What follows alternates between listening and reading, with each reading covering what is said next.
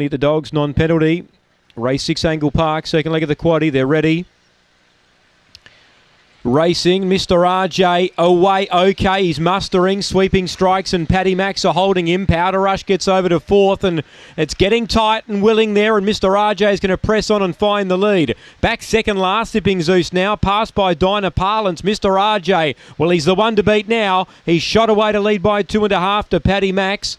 Three lengths away to sweeping strike. Zipping Zeus getting going, but the bird's flown. Mr. RJ. It's Mr. Consistency again. Mr. RJ won by three. Paddy Max second. Zipping Zeus third. Got a long way out of his ground. Fourth of photo. Sweeping strikes or powder rush. And Dinah Parlance not beaten that far. Back at the rear. He wins again the time. Uh, 29.97. Mr. RJ. Colin Swain. He wins again. Geez, a consistent dog for Colin Swain. He wins again. Jumped on the lead.